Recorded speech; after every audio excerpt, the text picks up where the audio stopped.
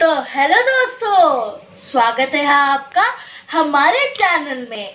आज हमने एक इलेक्ट्रिकल इरेजर मंगाया है, जिसकी हम अनबॉक्सिंग करने जा रहे हैं। यह अभी ही जस्ट अराइव हुआ है। तो खोलते हैं। इसको यहाँ से खोल लेते हैं हम।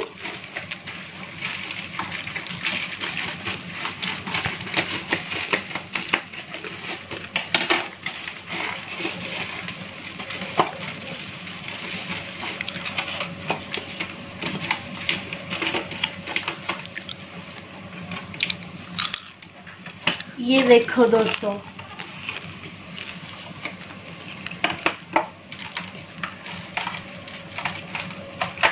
ये हमारा इलेक्ट्रिकल इरेजर है। अभी शायद चार्ज नहीं हुआ होगा। देख लेते हैं। इसको अगर हम एक बार चार्ज करेंगे तो ये 600 टाइम्स चलता है। तो अभी शायद ये चार्ज नहीं होगा। जब हम इसको चार्ज करके देखते हैं अगर ये जब चार्ज होगा, फिर आपको बताएँगे हम ड्राइंग्स में इसको कहाँ यूज़ किया है।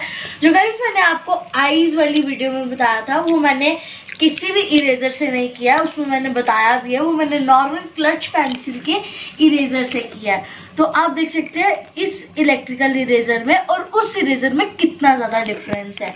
तो अगर वीडियो पसंद आई हो तो लाइक करना शेयर करना कमेंट करना। बाय